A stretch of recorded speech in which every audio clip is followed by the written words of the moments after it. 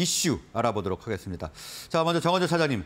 오늘 엔터주 준비를 해주셨는데 오늘 엔터주는 그래도 선박을 하고 있는 것 같습니다. 하반기에 더 좋을 것이다. 이런 예상이 지배적입니다. 어떻게 접근하면 좋을까요? 어, 예. 한때 좀 시장을 이끌었던 엔터주들이 최근에 좀 부침이 있었습니다. 어, 시장이 뭐 전반적으로 약했던 그런 영향 때문에 어, 그나마 이제 그래도 시장에서 그나마 서- 수익률이 좋았던 어, 엔터주들 이 어, 차익 실현 물량이 좀 더해지면서 아무래도 이제 이 매도 물량이 좀 진하게 나오면서 아무래도 최근에 조금 주가가 좀 약했었던 흐름이 나왔었다라고 저는 생각을 하고 있고요. 어, 그나마 이제 최근에 어, 기관 매수세가 조금씩 들어오고 있습니다. 그러니까 빅4라고 할 수 있는 이 엔터주 종목들 중에서 어, 하이브를 제외하고 어, JYP 엔터, YG 엔터, 하- 이 SM 같은 경우에는 어, 최근 며칠 사이에 기관 매수세가 들어오는 그런 모습이 나왔거든요.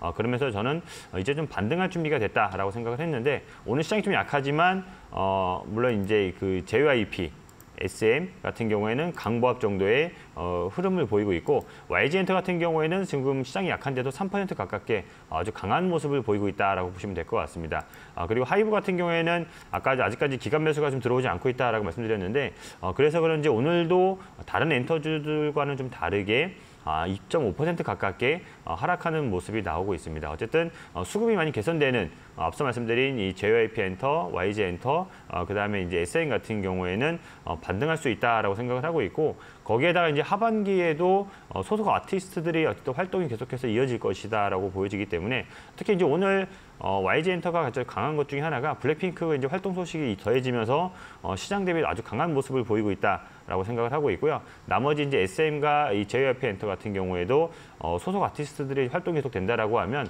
아, 하반기에도 아주 호실적이 나올 수 있다라고 생각을 하고 있습니다. 그렇기 때문에 어, 다시 한번 이 매수 타이밍 잡는 것도 괜찮은 시기가 오지 않았나 이렇게 보여집니다.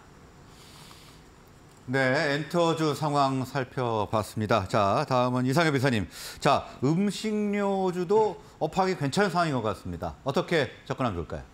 네, 최근에 지수가 좀 부진한 가운데 상대적으로 음, 강한 섹터 중에 하나가 이제 말씀드리는 음식료인데 음식료, 뭐 의료업종도 좀 최근에 좀 상대적으로 강하긴 했는데 최근에 이제 특히 이번 주 뭐 농심이나 삼양식품, 빙그레 모두 신고가 나는 흐름을 좀 보이면서 상대적으로 좋은 모습이고 음, 상대적으로 주류 쪽, 그러니까 롯데칠성이나 이제 뭐 하이트 진로 등은 좀 상대적으로 좀 바닥권에 있고 주가 흐름이 상대적으로 저조하죠.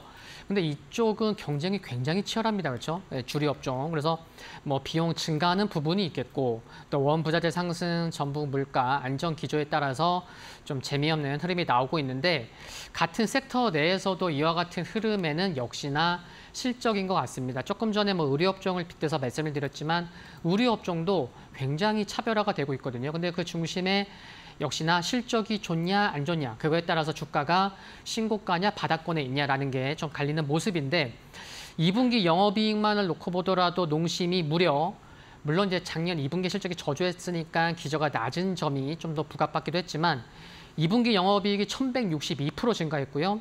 삼양식품 61.2%, 빙그레 2분기 대비해서 작년 119.5% 개선이 됐습니다. 그러다 보니까 아, 주, 이렇게 실적 개선되다 보니까 주가도 반영하고 있구나. 지수는 좀 지지부진하지만요. 그리고 하이트질러나 롯데칠성 같은 경우에는 전년 동기 대비해서 각각 80.9%, 7.9, 7.2% 하락하다 보니까 그래서 아 역시 실적이 중요하구나라는 걸 확인할 수가 있는데 중요한 거는 농심과 삼양식품 같은 경우는 일부 라면 에, 가격 조정을 좀 이렇게 결정하면서 이와 같은 영향이 좀 3분기에 좀 있지 않을까라는 점은 뭐 관심을 두더라도 체크가 필요한 부분이다라는 말씀을 드릴 수가 있을 것 같고요. 그리고 신고가 나고 있는 종목 중에 하나인 빙그레는 오늘도 뭐 강보합을 보이고 있긴 한데 상반기 기준 해외 수출액이 역대 최대 775억 원이었고 또 수출 비중 역시나 13.1%로 최고치를 경신했습니다. 그래서 어, 이쪽이 수출이 참 중요하구나라는 걸 알 수가 있었는데 어, 작년 같은 경우는 한 수출하는 국가가 한 20여 개 국가에서 올해 무려 이제 50% 증가해서 한 30여 개 국가로 증가한 거 중요한 것 같고요. 그리고 앞으로 뭐 전 세계 그 이제 음, 개척할 곳이 많다는 거가 이제 긍정적이기 때문에 수출 해외 쪽으로의 앞으로의 모멘텀 계속해서 살펴봐야 될 것 같고요. 그리고 그 배경을 살펴보면은 뭐 K컬처 영향력이 확대됨으로 인해서 뭐 한국 제품의 인지도와 이제 음, 이미지가 이제 상승된 점이 중요한 것 같고 근데 이런 거는 뭐 단기적인 흐름이 아니기 때문에 계속해서 실적 체크 필요한 것 같고요. 그리고 음식료 같은 경우 마지막으로 중요한 게 뭐냐면은 가격은 인상했는데 원재료 가격이 하락하다 보면은 그 스프레드 확대에 따라서 실적은 좋아질 수밖에 없는데 올해보다는 내년에 마진 개선 폭이 확대될 수 있다는 점에서도 좀 중기적으로 관심이 필요한 것 같습니다. 네, 음식료주 지금 업황이 반등세를 보이고 에, 종목들도 지금 신고가를 경신하고 있는 상황인데 앞으로 중장기적으로도 괜찮은 상황이다 이렇게 에, 분석을 해 주셨습니다. 자, 다음은 관심 종목 알아보도록 하겠습니다. 정원조 차장님. 네, 제가 오늘 가져온 종목은 신성 ENG 가지고 와봤습니다. 어, 신성 ENG 2분기 실적은 상당히 좋지 못했었습니다. 어, 시장의 컨센을 좀 하회하는 실적이 나오면서 조금 아쉬운 모습이 나오긴 했었지만 어, 서- 세부적으로 이유를 살펴보면 어, 하반기에 지금 지- 시작된 프로젝트 관련해서 어, 인원이 좀 충분 충당됐던 부분과 그 다음에 관련된 부대 비용이 선제적으로 집행됐기 때문에 어, 예상보다 좋지 못했던 실적이 나왔다라고 보여지고요. 어, 하반기 아까 말씀드렸던 이제 프로젝트가 진행될 거라고 얘기 드렸는데 어, 비용은 이미 어쨌든 집행이 됐고 이 하반기에 진행될 프로젝트가 나온다라고 하면 어, 어쨌든 이런 부분 에서 실적이 괜찮아질 수 있다라고 예상이 됩니다. 어, 거기에다가 하반기에 신규 수주도 신규 수주도 어, 추가로 된다라고 하면 어, 플러스 알파의 실적이 나올 수 있다라고 보여지고요.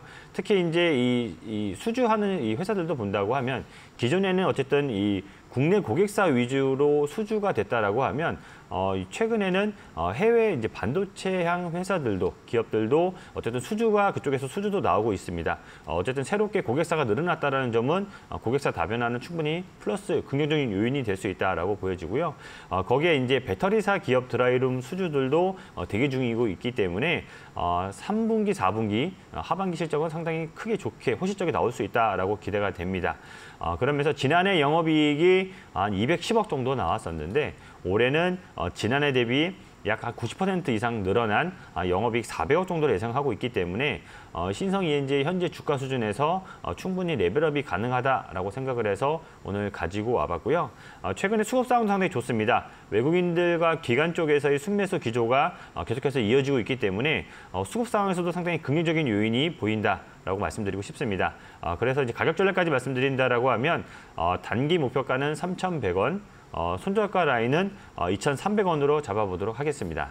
네, 자 신성 이현지 오늘 관심 종목으로 준비를 해 주셨는데요. 하반기 에, 신규 수주에 대한 기대감이 일고 있는 점 그리고 수급이 최근에 긍정적인 점 포인트로 짚어주셨습니다. 목표가는 3만 1,000원, 아 3,100원 제시를 해주셨습니다. 자 다음은 이상엽 이사님. 네, 저는 이제 바이오 중에 한 종목을 갖고 왔는데 오늘 또 이제 바이오 active ETF가 상장이 됐습니다. 8월 3일에 이어서 이와 같은 수급도 좀 바이오 섹터에는 긍정적이다라는 말씀을 먼저 드리겠고요. 그리고 오늘 소개해드릴 종목은 알테오젠입니다. 알테오젠. 어, 오늘 어, 그래도 이제 강보합을 보이고 있습니다. 좀 매수세 들어오면서 강보합을 보이고 있는데 시가총액은 약 한 2조 4천억 원에 해당하는데 바이오 실적이 되는 기업들이 그리 많진 않죠. 뭐 특성이 특징적인 뭐 그런 부분이기도 하지만 알테오젠의 2분기 영업이익이 무려 194억 원을 기록했습니다. 오랜만에 흑자 전환을 했는데 마일스톤을 수령했기 때문이거든요. 그래서 기존 정맥 주사 제형을 피부에 놓는 게 피하 주사 제형으로 바꾸는 기술을 네 개 회사에 이미 수출을 했었는데 올해 상반기에만 그 세 개 회사가 임상 3상에 진입했기 때문에 이제 마일스톤을 수령하게 된 건데 상반기에만 2,100만 달러, 278억 원을 수령한 것이 어, 이번 실적에 긍정적인 영향을 줬다라고 보시면 되겠고요. 그리고 피하 주사면 뭐 집에서도 자가 주사를 맞을 수 있기 때문에 좀 편안한 점, 긍정적일 거 볼, 긍정적으로 생각이 될 수 있겠고, 그리고 현재 음, 바이오 시밀러 약물 두 가지를 임상 중에 있습니다. 요 요게 이제 하나가 이제 허셉틴이고 하나가 이제 아일리아인데 허셉틴 음, 그리고 이제 아일리아 같은 경우는 이제 블랙버스터 의약품이죠 시장이 워낙 크기 때문에 그래서 허셉틴 바이오시밀러 같은 경우는 임상 2상 하고 있고요 아일리아 바이오시밀러 같은 경우 임상 1상을 진행 중에 있습니다. 그리고 또 다른 한 가지 모멘텀은 당장은 아니겠지만 ADC 유방암 신약 개발 계획을 갖고 있는 거 중요할 것 같고요. 그리고 어제까지 금융투자가 무려 7일째 매수를 하고 있어서 금융투자를 중심으로 한 수급에 지속 예, 체크가 필요할 것으로 생각이 들겠고 가격 전략으로는 매수는 4만 5천 원, 매도는 5만 8천 원, 손절 가격은 4만 1천 원 말씀드립니다. 네, 알테오젠 관심주로 분석을 해주셨는데 5만 8천 원이 목표가 말씀하신 거죠? 네. 네, 자 매수가는 4만 5천 원 그리고 손절가 4만 1천 원 제시를 해주셨습니다. 자 저희가 시간이 조금 여유가 있는 관계로 한 가지 질문 각각 드리도록 하겠습니다. 먼저 정원조 차장님, 아, 초전도체 관련주 지금 뭐 초전도체가 아니다 이런 이야기가 나오는데도 강세를 나타내고 있습니다. 이거 어떻게 판단을 해야 될까요? 일단 네이처에서 또 아니다, 초전도체 물질이 아니다라고 했는데 이거와 별개로 주가는 조금 강하게 흐름이 이어지고 있는 것 같습니다. 어, 그러면서 어, 개인적인 생각은 지금은 약간 과매수 구간이다라고 생각을 하고 있는데 어, 그래도 이제 수급 상황에서 본다라고 하면 아직까지도 힘은 좀 있어 보이긴 합니다. 오늘도 신성 데이터테크가 어, 20% 넘게 상승하는 그런 모습이 나오고 있고 우리 다른 종목들 같은 경우에는 변동폭이 커지면서 어, 마이너스가 좀 크게 떨어지는 종목도 있긴 하지만 어쨌든 수급 상황에서 좀 아주 강한 흐름이 좀 이어지고 있기 때문에 단기 매매가 좀 가능하신 시청자분들은 좀 괜찮긴 하지만 어, 그렇지 못하신 분들은 아예 좀 눈도 안 보시는 게 눈도 안 대시는 게 좀 맞지 않나 생각을 하고 있고요. 어쨌든 이 과학적으로 아니다라고 나왔기 때문에 너무 이제 기대감과 어쨌든 이 단지 주가 움직임만 보고 들어가기에는 어떻게 보면 야수의 심장이 좀 필요한 시기다라고 생각을 하고 있고 그렇지 못하신 분들은 그냥 아예 안 보시고 마음 편히 실적 되는 종목들로만 어, 보시는 게 맞지 않나 이렇게 보여집니다. 네, 자 정원조 차장께서는 지금 과매수 구간이 맞기는 한데 지금 수급상으로 보면 아직 힘은 있어 보인다 이렇게 분석을 해주셨습니다. 그러면서 일단 단기 매매가 가능하신 분들만 접근 가능하지 다른 분들은 어, 첫차트 보지 말라 이렇게 말씀을 해주셨고요. 야수의 심장 강조를 해주셨습니다. 자 다음은 이상혁 의사님 어떻게 보십니까?